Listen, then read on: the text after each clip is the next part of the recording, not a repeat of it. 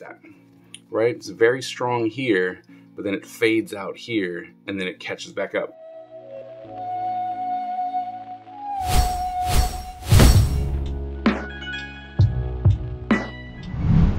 Hello, everyone, and welcome to another episode of Is It Worth It, where I go around the world and the internet looking for art supplies to make your life just a little bit easier or for you to enjoy the craft just this much more.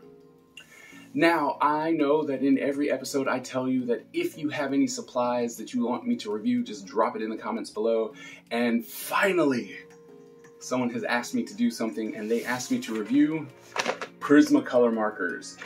So I went ahead and picked up a pack of Prismacolor markers because I want to review them because someone asked me to. Now, I've used Prisma before, so I kind of I have a preconceived notion of how the, the Prismacolor markers are, but it has been a very, very long time since I've used them, so I'm very excited to see just how much they have grown and changed over time, and to see if they are actually worth it, because Prismacolor markers are not cheap. So I want to make sure to see if they're actually worth it. And you all know there's only one way to do that. Let's go check them out. Oh, right. So Prismacolor is going with chipboard. Um, they give you a little illustration, which I always like. I, I love the fact when they put illustrations on the actual chipboard so that you can actually see what you could uh, potentially complete with it. So that's really nice. They give you an indication of what it is.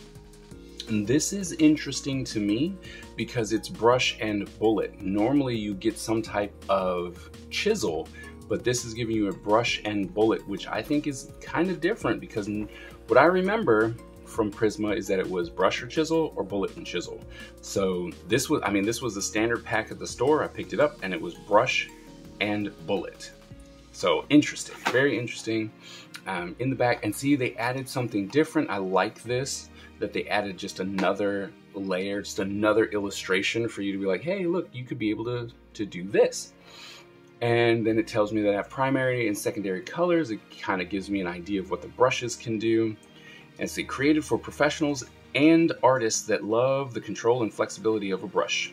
Create thick, thin, and varied lines with a brush tip Use the fine tip for details. Advanced ink formulations provide rich color, saturation, and superior blendability. Single ink reservoir for a perfect color match end to end. Alcohol dye based ink. So, a single ink reservoir. So, that means that these are not refillable, which is a really big like knock in the nah, this isn't worth it kind of uh, area because they're not refillable and yet they are still very expensive.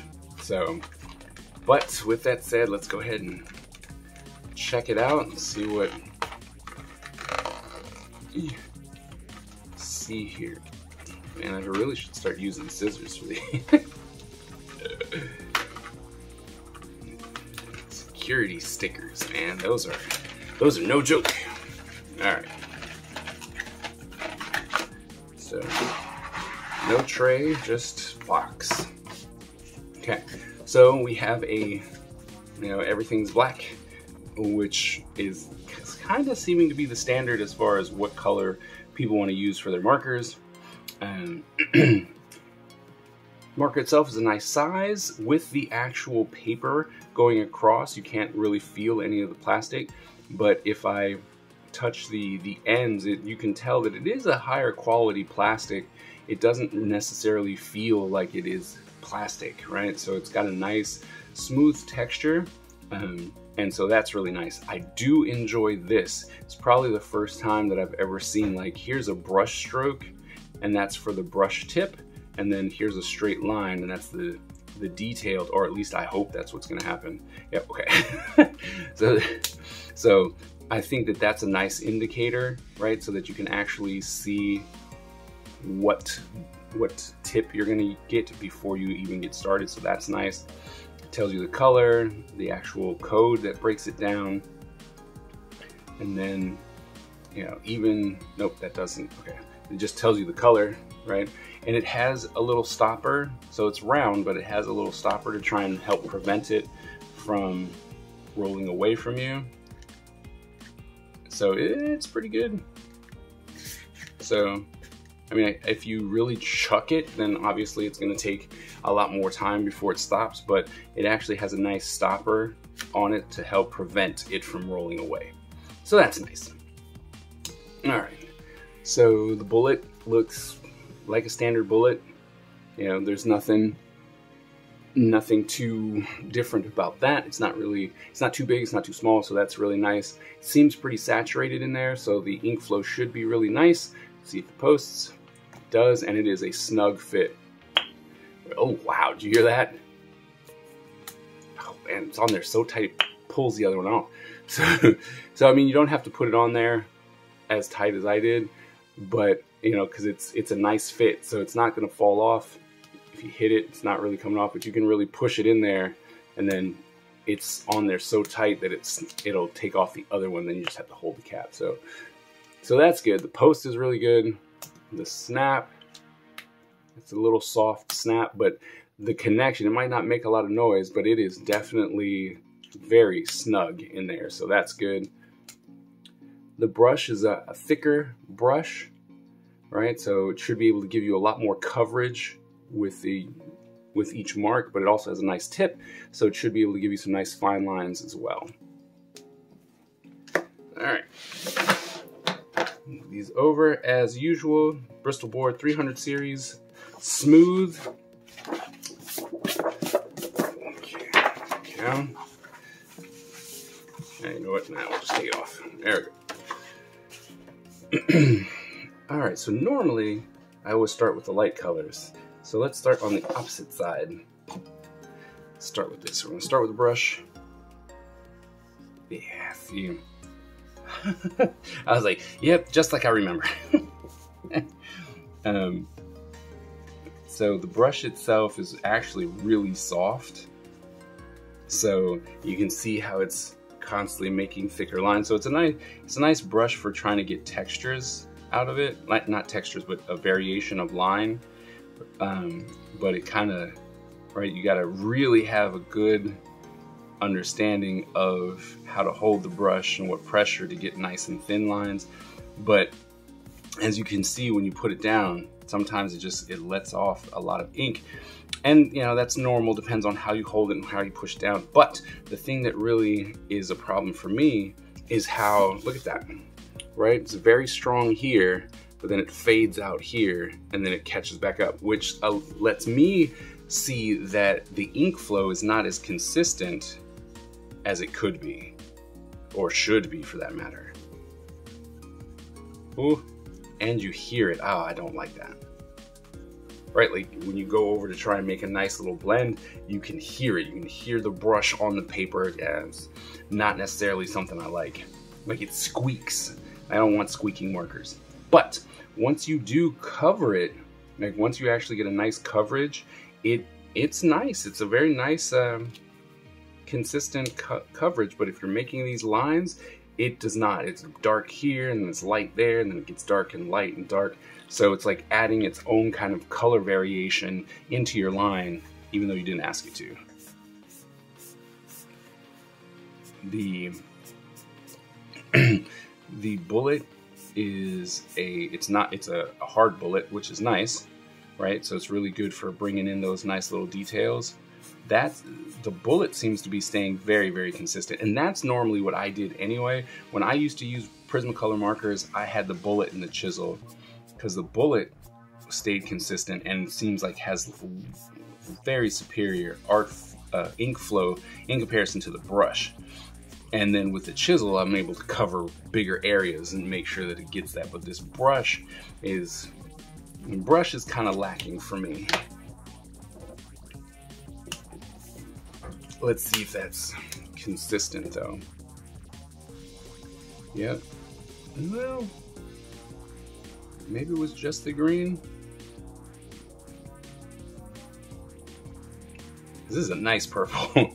I'm not even gonna lie, that's a really nice purple.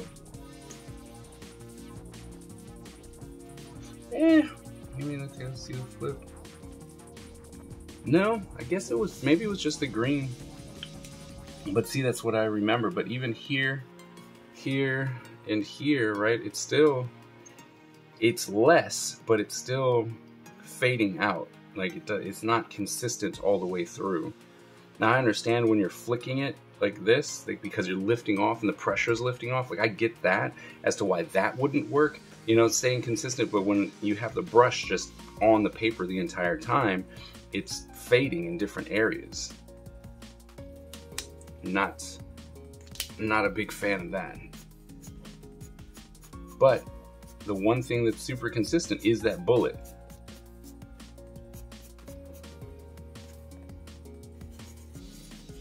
Right, see, that just stays consistent.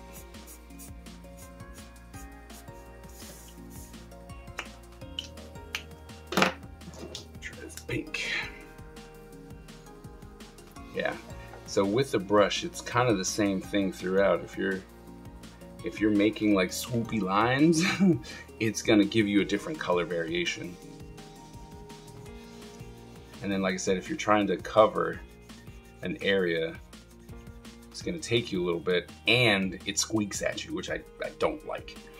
But it is, you know, as indicated with the green and this pink, it is, once you get it there, it's very nice.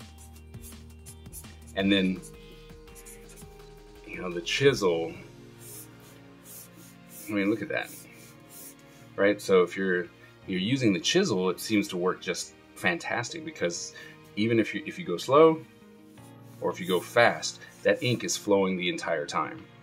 So that's that's really nice.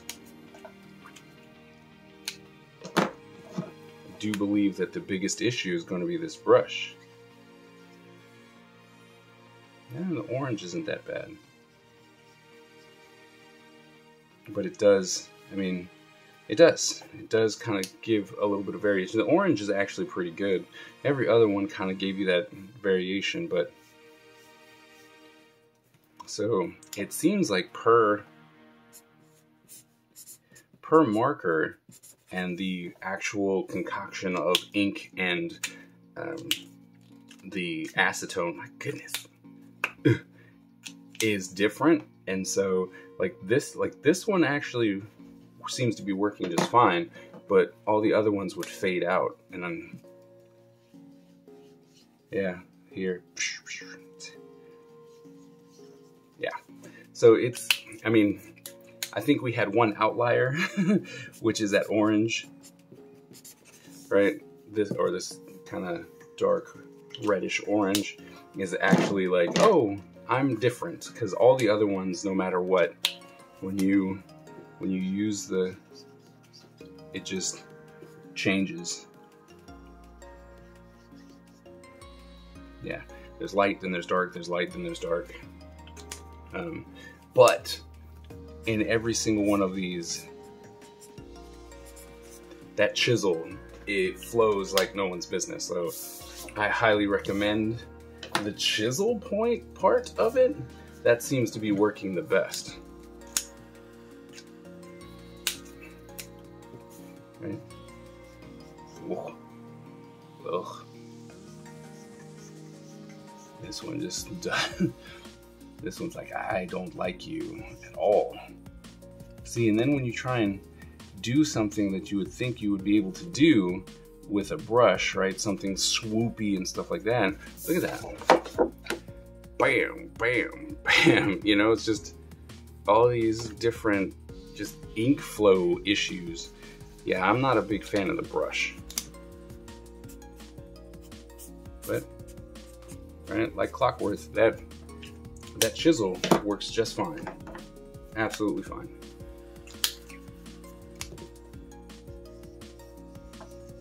But yeah, see, every every single time, right?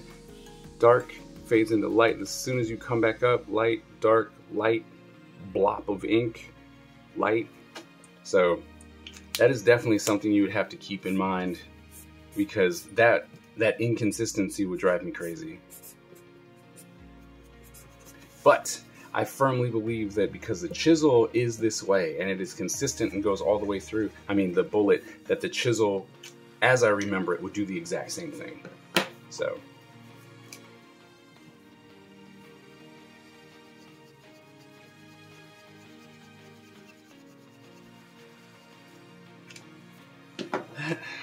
Later orange.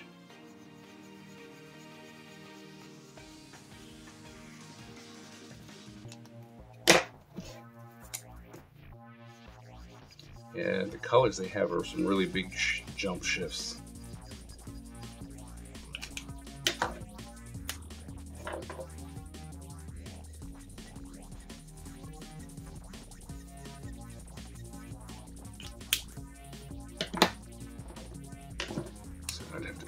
Here.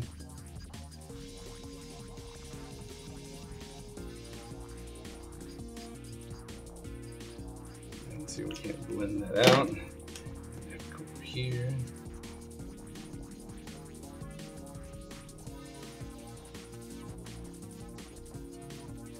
That one out. This one. That might take a little bit to dry, but we're just trying to blend some of it and see what happens. Now, with that, while we're waiting for that, we'll do our little test. A little bit more space here. Staedtler. Tombow. Faber Castell. And King Art.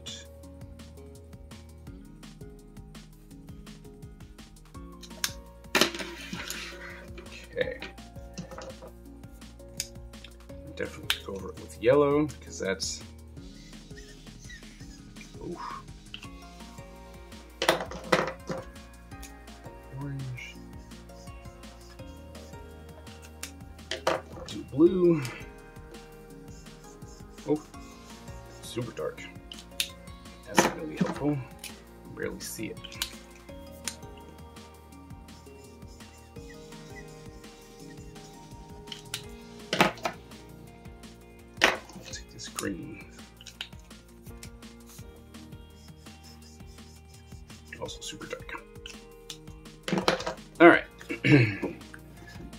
So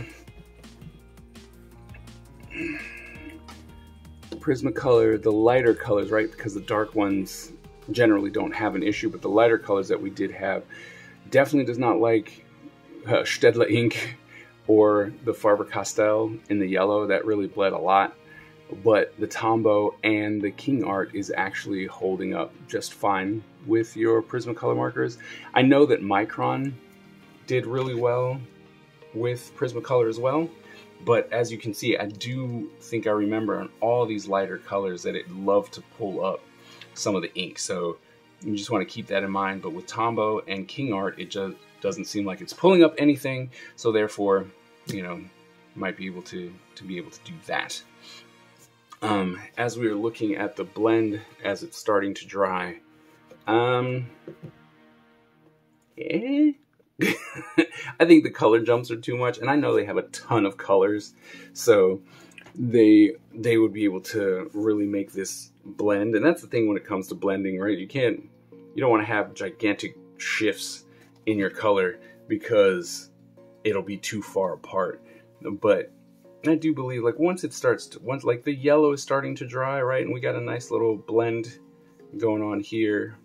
And this one's kind of getting there as well but I think that the, the, the colors that were in the pack make it just a little bit too too far of a jump to make a nice nice blend.